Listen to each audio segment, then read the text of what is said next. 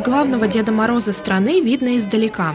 Паровоз, словно новогодняя игрушка, горит и переливается. На перроне не протолкнуться. Доброго волшебника ждут более 600 ребят и их родителей. И минус 10 градусов на улице не помеха. Здравствуйте, дорогие друзья!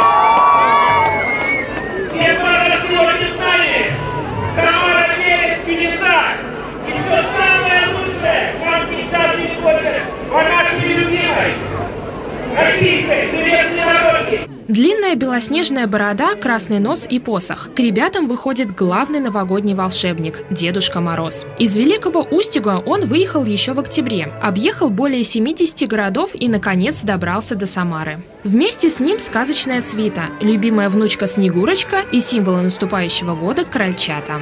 Ой, друзья, Самара принимает самыми теплыми э, улыбками и глазами ребят. Нам очень понравилось. А еще, друзья, Дедушке Морозу подарили настоящую космическую еду. Вот это да. Будет интересно потом посмотреть.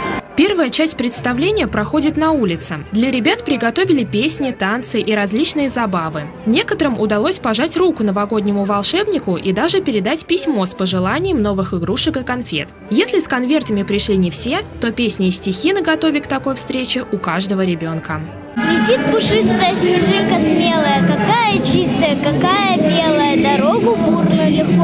легко проносится, и высь лазурную на землю просится. И пока одни развлекаются на свежем воздухе, счастливчики, чьи родители успели приобрести билет на поезд, отправляются в путешествие по сказкам. Ближе знакомятся с командой Деда Мороза и проходят ряд испытаний. К примеру, на смекалку.